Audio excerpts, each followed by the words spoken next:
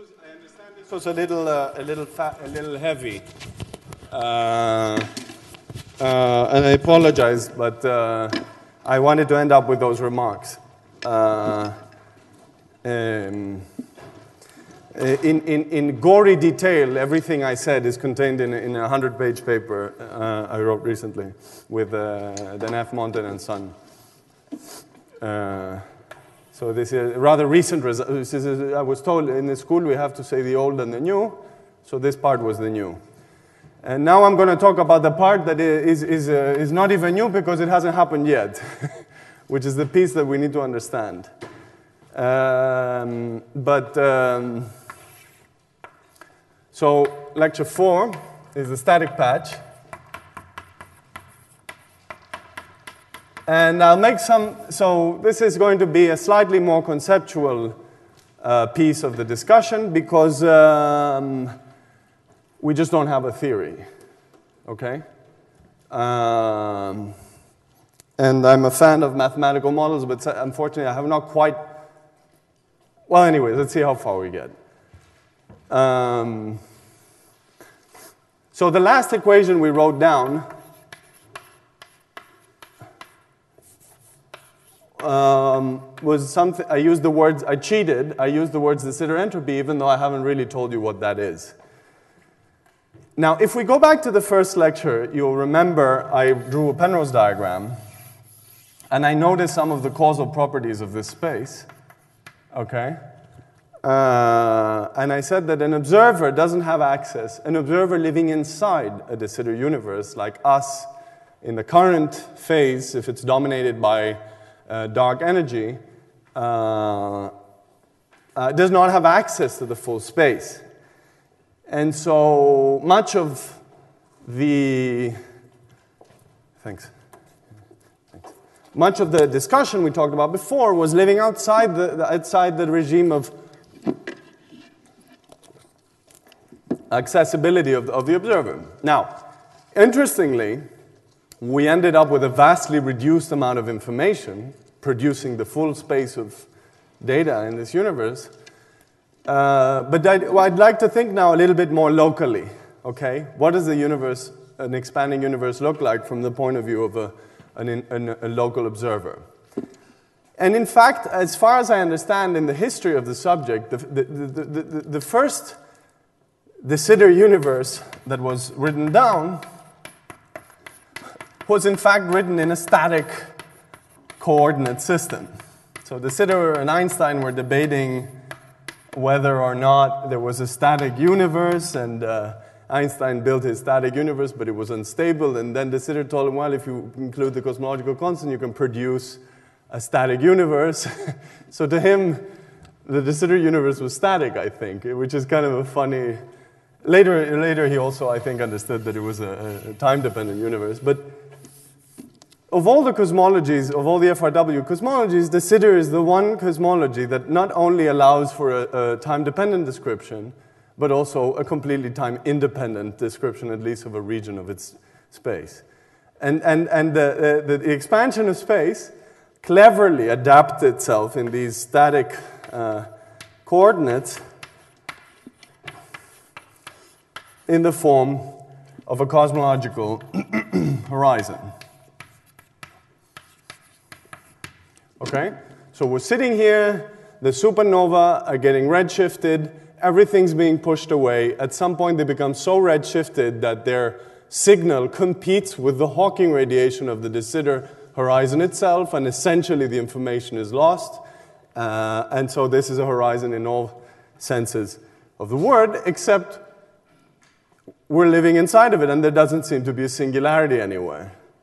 So it's a, it's a rather clean and interesting horizon. And, it's, and, and it carries an entropy according to Gibbons and Hawking, uh, uh, which, uh, which in our own universe is supposed to be uh, 10 to the 120, which means that we are uh, surrounded by 10 to the 10 to the 120 microstates, if this picture is true, and uh, somehow we're not mixing with them. Okay? So, might be a little odd of a picture. Uh, now, a quick way to see that this uh, uh, geometry or small fluctuations in this geometry have thermal properties is to uh, consider a Wick rotation to Euclidean time. And what happens to this geometry when we Wick rotate to Euclidean time? Well, what happens to this geometry is, uh, for one thing, it becomes Euclidean. and uh, another thing is that, well, when r equals 0, uh, we have a two sphere that caps okay, to a point. But when r goes to 1, uh, we would have uh, a conical singularity unless we make a, a particular identification of the Euclidean time uh, to be uh, 2 pi. So in order to have a smooth Euclidean continuation of our Lorentzian geometry, uh, we need to identify the Euclidean clock by a periodicity of 2 pi, and thus uh, Green's functions will have this uh, property as analytic functions of time uh, they will be periodic in Euclidean time. Now, this is uh, a hint or, of thermal behavior, right? When my Green's functions are periodic in Euclidean time, I'm dealing with a system at a finite temperature. And another remark about this Euclidean geometry is that you can convince yourself, for example, by calculating its volume, which is going to be finite now, that it is actually the full metric on the Euclidean four sphere. Okay? Now, just for fun, this is going to be a fun lecture. Uh, uh, because we did a. Uh, uh so, just for fun, let's uh, go back to the global description of the, of the de Sitter uh, universe with the three sphere shrinking and growing again. And now let's do a different continuation where we take the cosmological clock time and we continue it uh, to i times t, tau, some other Euclidean object, what do we find?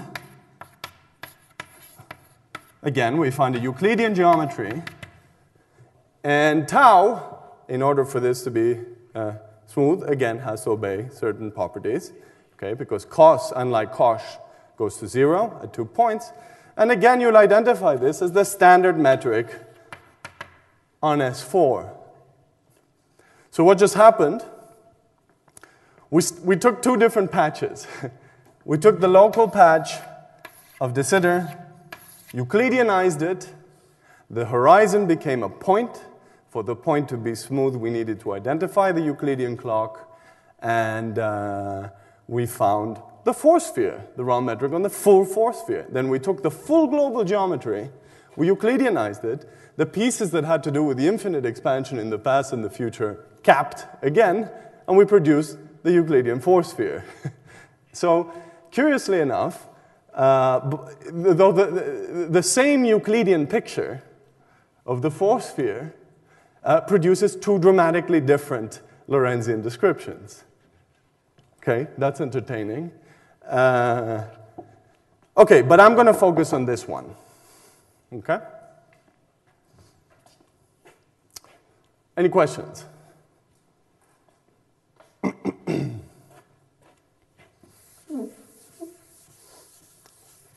oh, and just for the fun, in our universe, I told you what the entropy is. I can also tell you what the temperature would be if we were dominated uh, by the de Sitter horizon. It would be the coldest substance known uh, ever, I think. 10 to the minus 29 Kelvin. I think is the number. Homework problem.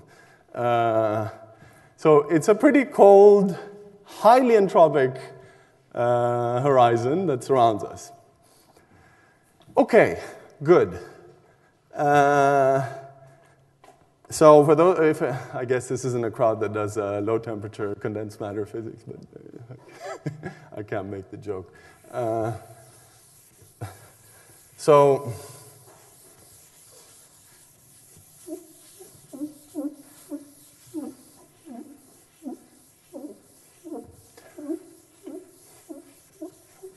So, okay, so some other properties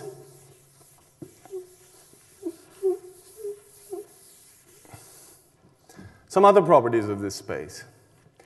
Um, this space is isolated, but we can put some matter inside of it. Okay? And uh, just for the sake of simplicity, we can consider the case where we put some uh, spherically symmetric matter localized within the, the horizon and uh, ask what the metric outside of it looks like, which by the Birkhoff theorem is going to be the Schwarzschild de Sitter geometry.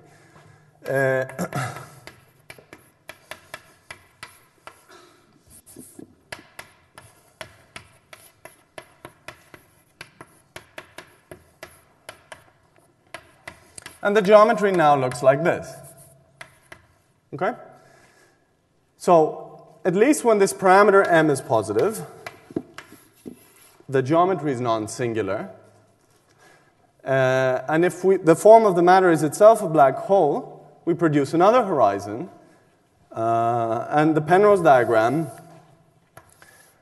will look like this. Let's see if I can get it right.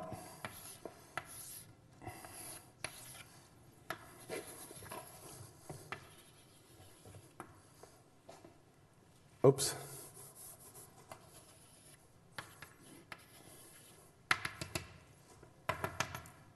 Okay? So here we have now our observer sitting inside, and uh, he can drop uh, pebbles, and they will either fall uh, uh in the cosmological horizon, or, or, she can drop a pebble and it, will fall into the, into the black hole horizon. Okay? Um, and the black hole horizon is distinguished from the cosmological horizon by having a singularity inside. Now, the temperatures of the two horizons are different. Okay? So, th this is some sort of out of equilibrium uh, solution. It's a multi horizon out of equilibrium solution because it's as if we have two thermal baths, two thermal systems uh, interacting with each other at different temperatures. And what's going to happen is they're going to exchange uh, energy. Okay, there'll be a thermal flux, and they'll exchange energy. And what the system might look for is the most entropic configuration. So, uh, according to Bekenstein and company, the most entropic configuration is in the Einstein limit, the area. So, we can sum up these areas. So, this is a fun exercise. Calculate the sum of the areas and maximize uh, for all values of m that give a smooth solution. And what we discover is that the empty uh, de Sitter geometry has the largest amount of entropy. Even though in one case we're summing the area of two horizons, and the other case we only have a single horizon, gravity with its back reaction is clever enough to always produce uh, the empty de Sitter universe as its most entropic configuration. Okay, so there's an attractor, a thermodynamic attractor point, which is the empty static patch. Um, and in fact, we can ask the opposite question. We can minimize the entropy and ask what's the minimal entropy configuration. And that is one where we bring uh, the horizons together uh, to a point where they essentially coalesce. Okay? And that is known as the uh, limit of Nariai. Okay? Uh, and what we can do is, uh, in this limit, push the two horizons together and zoom the geometry in, okay, to the region living between the two horizons. And if we rescale our coordinates appropriately, we produce a new solution to uh, Einstein's theory of gravity with a positive cosmological constant, which is a direct product of ds2 cross s2. Okay, this was Nariai's uh, solution. Okay, and DS2 uh, cleverly is, a, is, a, is, a, is a, uh, a, geometry that has two cosmological horizons because, well, one very uh, abstract way of saying it is that a zero dimensional sphere consists of two separate points. you may or may not find that satisfactory, but the point is if I'm an observer surrounded by a sphere, then you know I have all my points in my sphere and I'm surrounded by a sphere. But if I'm an observer living on a line, then I have two directions I can go in, and uh, the, the analog of the horizon becomes two separated points. And that's good because what we were doing was pushing together two horizons in the first place. So ending up with DS2 across a sphere uh, seems like a natural limit. Now, you may be familiar with uh, something known as the Bertotti-Robinson universe, which is a product of ADS2 times S2. And in order to get that solution, you need Einstein-Maxwell theory, because the two-sphere has to be supported by electric flux. Okay, this is a famous solution of Einstein-Maxwell theory. But here, somehow, cleverly, uh, the positive cosmological constant uh, gave us an analog solution without necessitating the presence of an electric flux. And the symmetries of DS2, globally at least, uh, are now uh, the SL2R uh, group. So the, one plus, uh, the 0 plus 1 conformal group, and the one case where the Euclidean and Lorentzian conformal groups happen to be the same. Okay, so the representation theory that I talked about in the case of DS2 and ADS2 are quite similar, even though in higher dimensions they're very different. Okay, another fun fact, fun lecture. Uh, so, but it's also interesting from the point of view of the geometry, right? So I've pushed the geometry in a particular limit, and what it produced uh, is some sort of uh, new critical type of symmetry that wasn't the original de Sitter symmetry, but some other emergent uh, critical symmetry, okay? It's re reminiscent of some sort of RG flow, okay?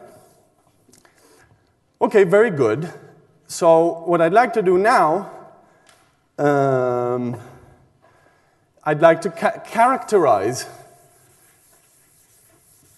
what has to be done is to characterize a few of the features of the de Sitter horizon.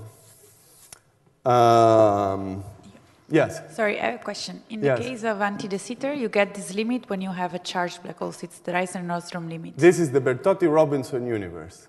Yes. Here, in this limit, you don't get, you, you're talking about the Schwarzschild de Sitter geometry. Yes, no charge. Somehow the cosmological constant is behaving when positive like charge. I'm going to come back to this point. Okay, so now let me make uh, another philosophical remark. Okay?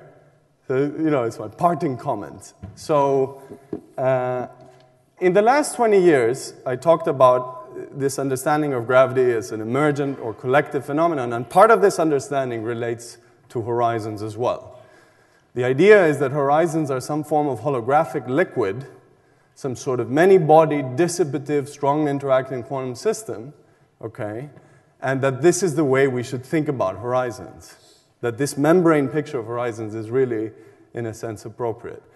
And uh, so now, when we study a horizon, a black hole horizon, for example, we really imagine that we're doing experiments, okay, on some sort of condensed matter system, on some sort of liquid, and trying to characterize the features of this liquid, okay?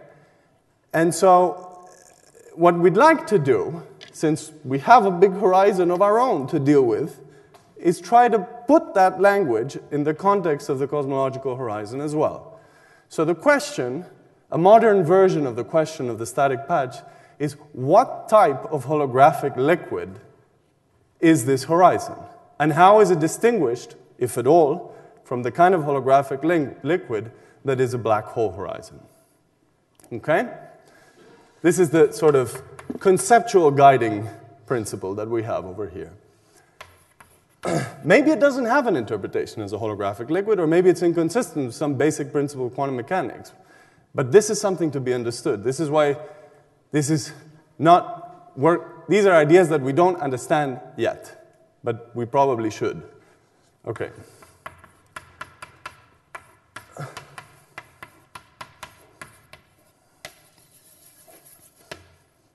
Because at the face of it, it seems like a reasonable question.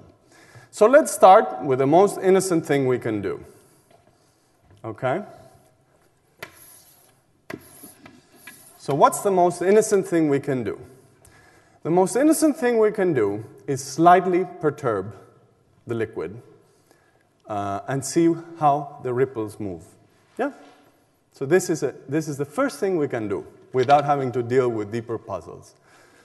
So, formulated in terms of an inertial observer sitting inside, associated to this horizon, the experiment we can consider, okay, is sending a pulse of localized energy, okay, which space is curved, it's going to have a non-trivial behavior, and part of the wave is going to be absorbed by the horizon, and part of the wave is going to be reflected back. Okay? So we're setting up an experiment at the perturbative level, uh, which is a source response type of observable, right? So, pulse, response, Green's function. Okay? So another way to ask the question is, what is the retarded Green's function at the perturbative level of a world line correlation, of a, of a world line observer? Okay? The natural observer, after all, in this static geometry is a world line observer sitting in the middle of this space. Uh, so we might as well try to append observations to this observer. What time do I finish? Okay. Okay, so at the technical level, what this calculation means is uh, we'd like to solve for, for a particular set of modes which have no flux, because we'd like to test the isolated system only with our perturbation. No flux coming in from the past horizon, okay? And waves that are singular only at the point of emission, so that there are no other experiments confusing us with our own. Now, this has a name in, in, in GR and black hole physics, which has become more famous thanks to LIGO now, which is what we're calculating are the quasi normal modes of the de Sitter horizon.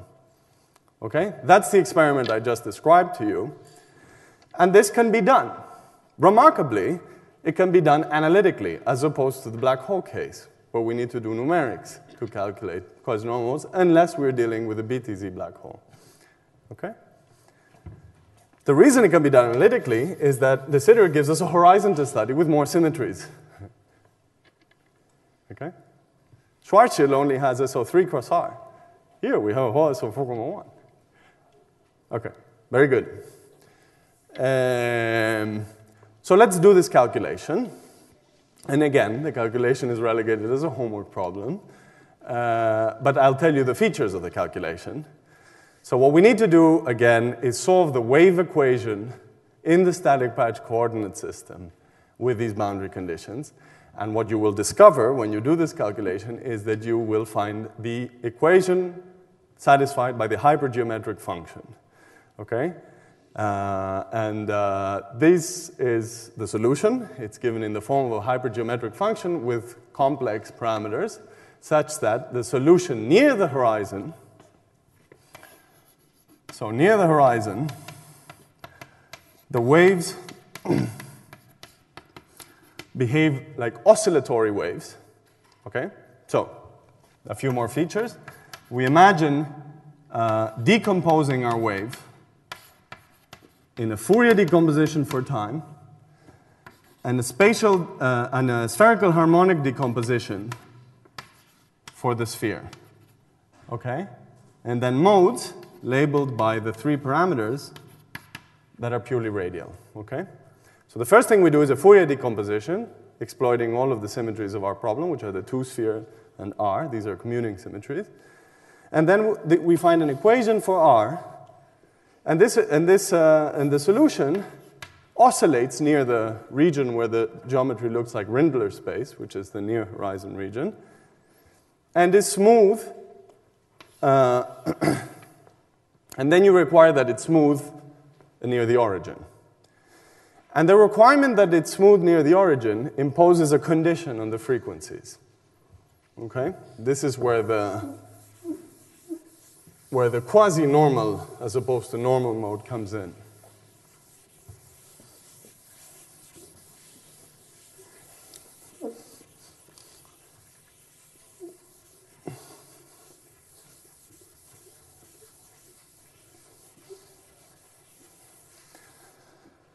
So what happens when uh, you impose all of these conditions? I'm going to work in four dimensions again. Everything I've done has been in four dimensions, okay? I like four dimensions.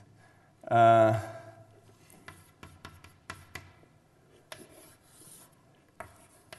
and we'll find an old friend.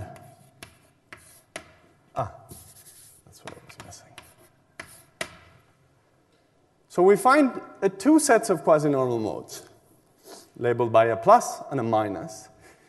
And funnily enough, uh, or maybe not, we have an old friend appearing in the equation, which were the conformal weights of the operators living at scri plus. Now they're encoded in the dissipative features of quasi-normal modes. Okay, again, some bizarre connection between our scri plus story and our local observer story. Um, and there's uh, different uh, uh, flavors to this, uh, to this spectrum. So let me discuss the spectrum and let me compare it to that of a black hole. Any questions?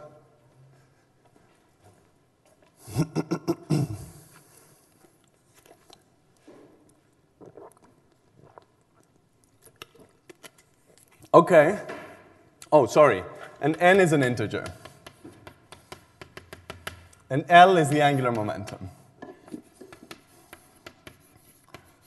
And m is the mass. Okay? So let's analyze this. So, the minus i over here tells us that these modes decay at late times. Okay? So we have our, oh, sorry. We have our Fourier expansion. We have e to the minus i omega t. Omega is minus imaginary, it's purely negative imaginary, so it decays. There's a decaying piece. This is dissipation. This is the fact that the wave gets dissipated at late times. The amplitude of the wave decays. There's a tower of dissipative uh, modes, and what this n labels is how many oscillations this wave has in this interior. Okay? And the larger the n, the more dissipative it is. Okay? Because you're sort of trying to pump more oscillations in and it gets pushed more into the horizon. Increasing the angular momentum also increases the dissipative physics of this wave.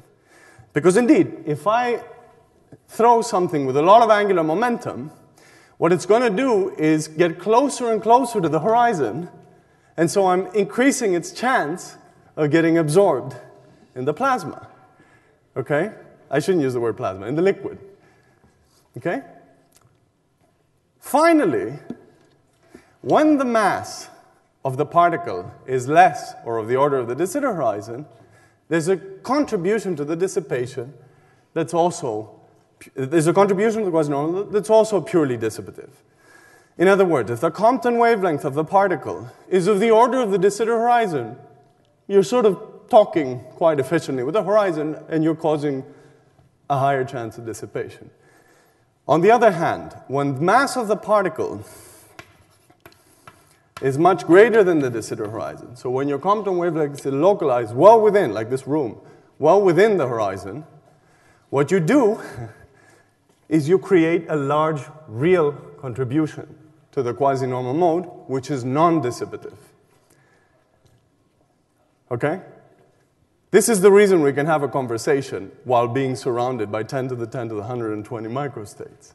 And this is what we need to understand if we're going to classify this as a holographic liquid. So now let's compare to a black hole. Let's compare to a black hole.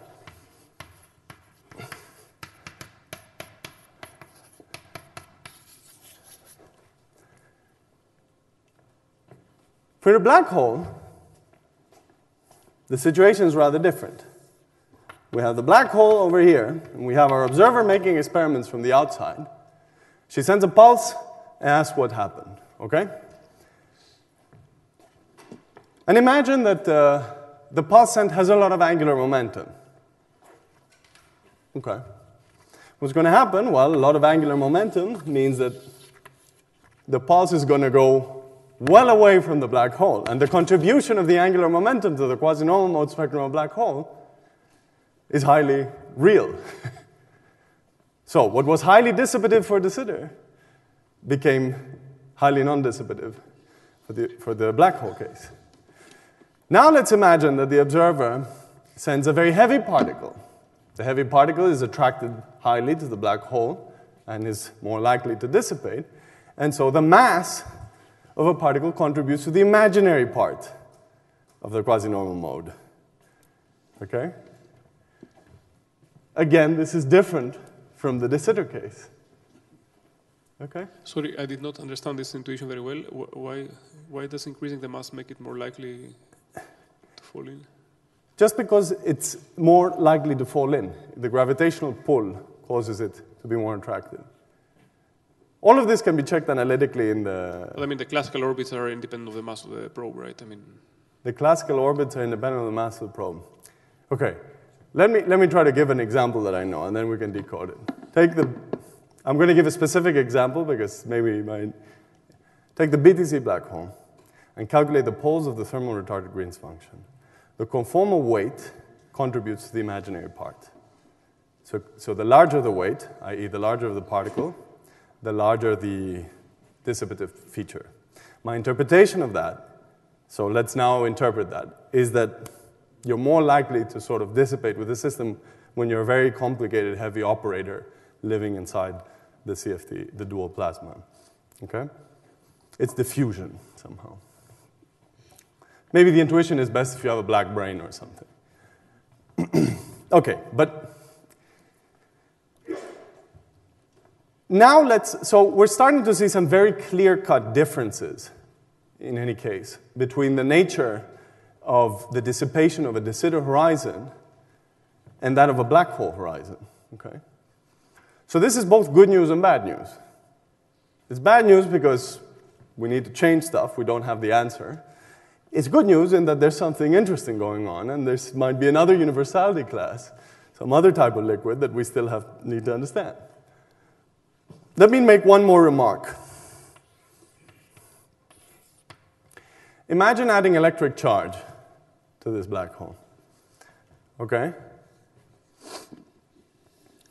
Uh, if we add an electric charge to this black hole, we could also endow our probe with some electric charge as well.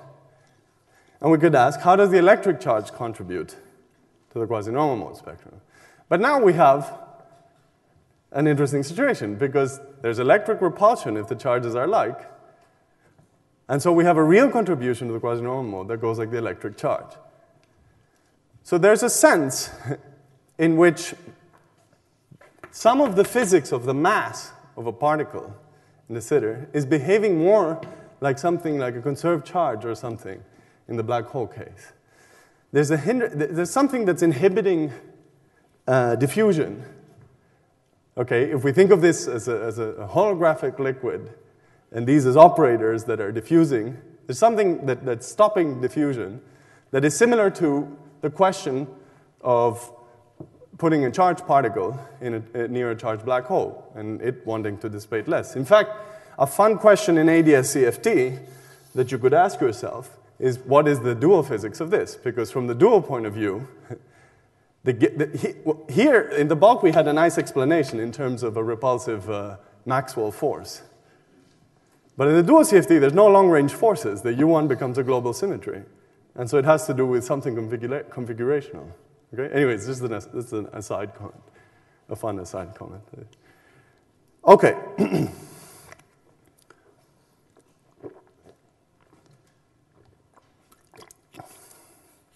Any questions? Yep.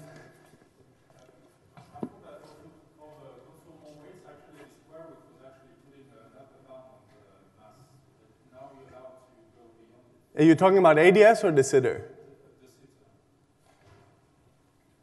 No, I, I, I, emphasize, first of all, uh, there's no reason for you to interpret this as a conformal weight anymore because we're, we're not at scri plus. But even at scri plus, uh, the bound uh, actually comes from the mass square being negative. So there's a bound on how real it can be, but not a bound on how imaginary it can be.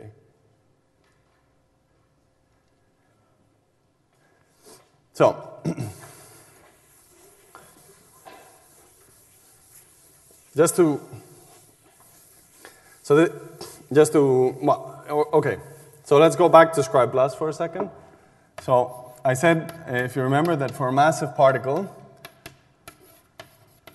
the scaling dimensions, uh, sorry, for a massive particle uh, were given by these. And well, what is the requirement from the bulk point of view is that the particle has positive mass square. But there's no bound on how heavy it can be. I mean, maybe, well, anyway, naively, there's no, particle, uh, there's no uh, bound on how heavy it can be. So the imaginary part of this can be very large. But what, what it cannot be is that this is very large and real, because that would require m squared to be negative. Okay? So no tachyons something like the BF bound in ADS uh, is just no tachyons in de Sitter. And what this forces was our conditions that uh, delta is between 0 and 3, or uh, delta is 3 halves plus I nu with nu real. Okay? These are the, the, unit, these are the unitary reducible representations of the Euclidean conformal group. Okay.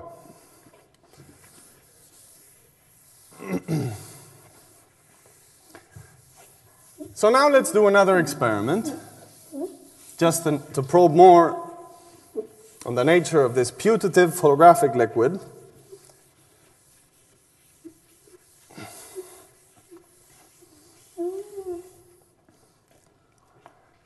So imagine now that we do the, the next leading uh, innocent thing, which is, well, let's allow a little bit of back reaction. Okay?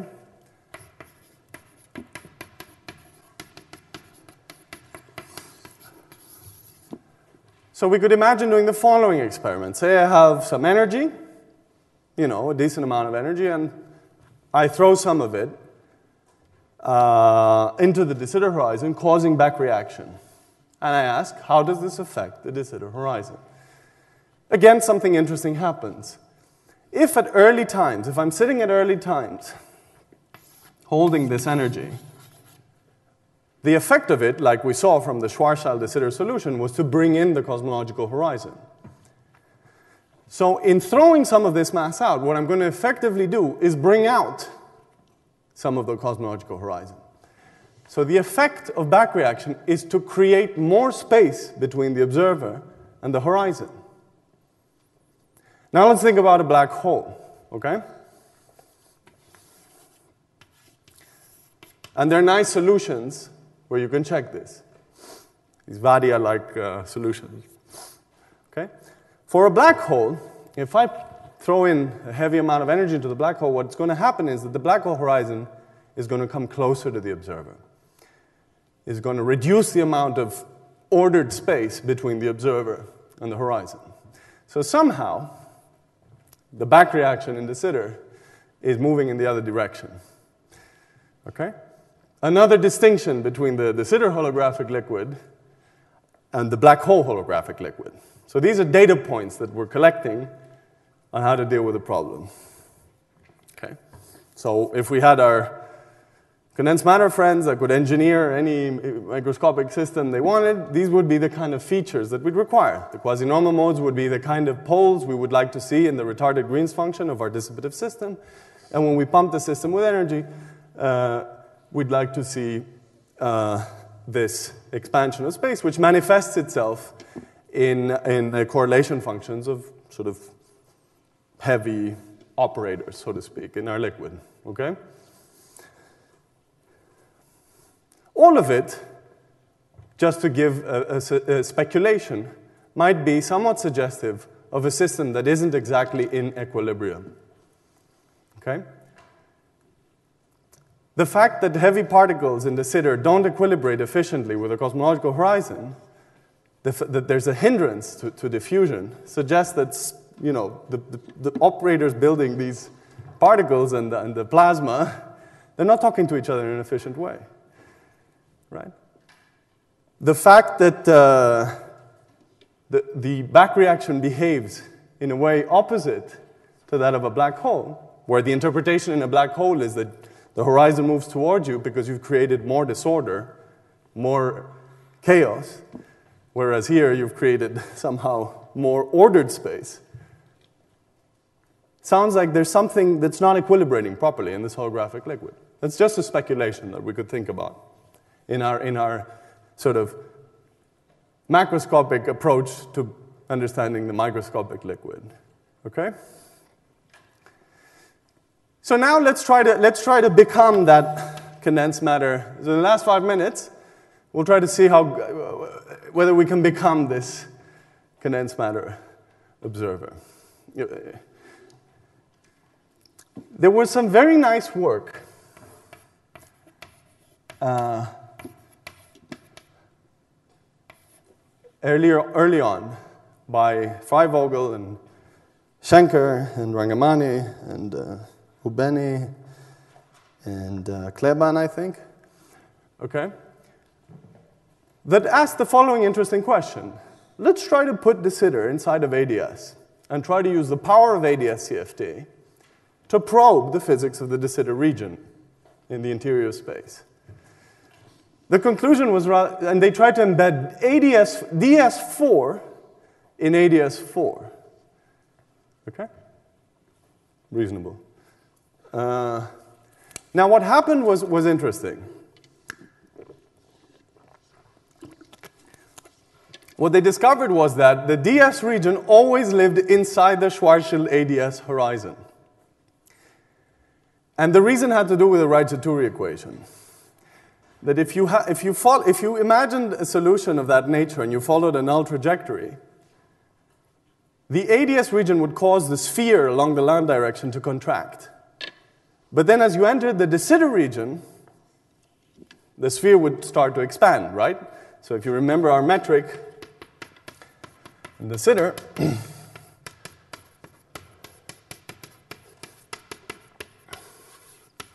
as R increases, as we go away from the maximum of the GTT component, the sphere starts to increase as we go forward along an L direction.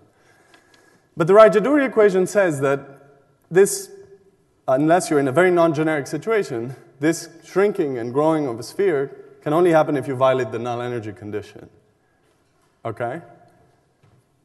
And so the way out was that the de Sitter region always lived inside the black hole horizon. Now, there's another type of ADS you might imagine gluing your de Sitter to, okay, where you would like to avoid this problem, okay? So, speculation. So, imagine that instead of gluing your DS4 static patch to an ADS4 asymptotic region, you glue it in ADS2 times S2 four dimensional region, where the two sphere is constant in size, so we avoid the issue of the Raychaudhuri equation, and then increases in the de Sitter interior. Okay? So imagine a geometry that at very large R looks like an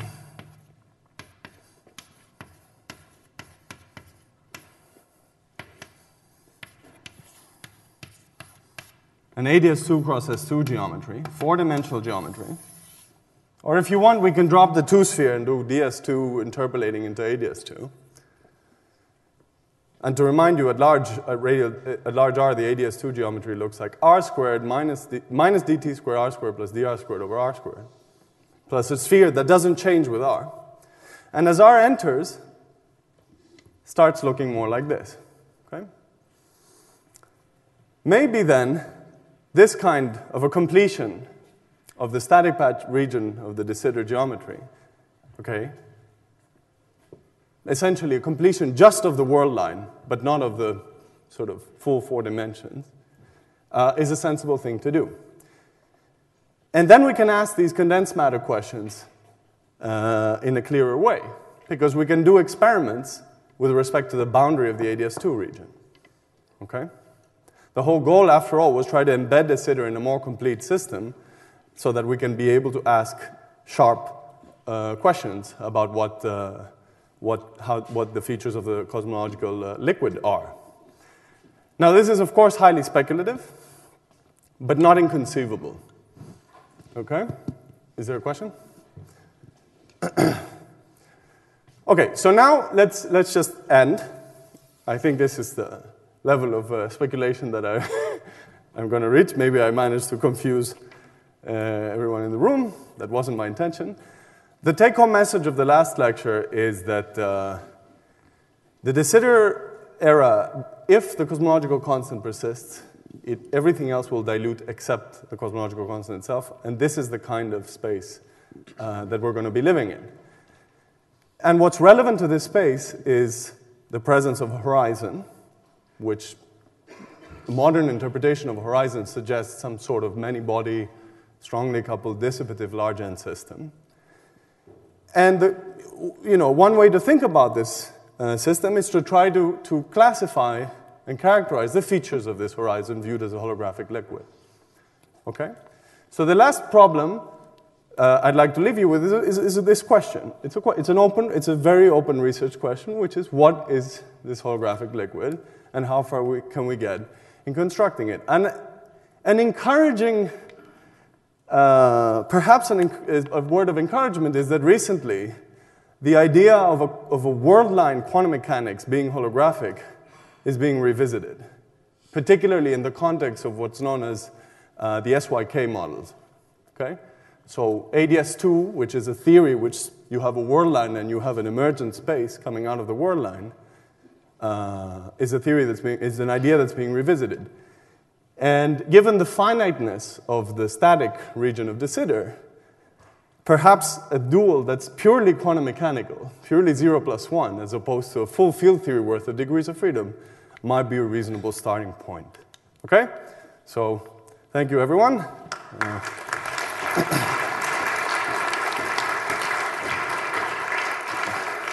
Thanks, thanks Dionysios for the very nice set of lectures. Uh, are there questions? So there will be a discussion session at 12, uh, so we can ask uh, Dionysios more questions then, but uh, if there are any short questions uh, before the short uh, coffee break? Okay, so I did manage to confuse everyone in the end. yeah. Just, it's not surprising that inside the black hole you might need a cosmological description, right? Because your metric changes signature, so. Your metric changes signature, but your curvature doesn't. So finding a cosmology is not surprising, but finding a cosmology with positive curvature might be.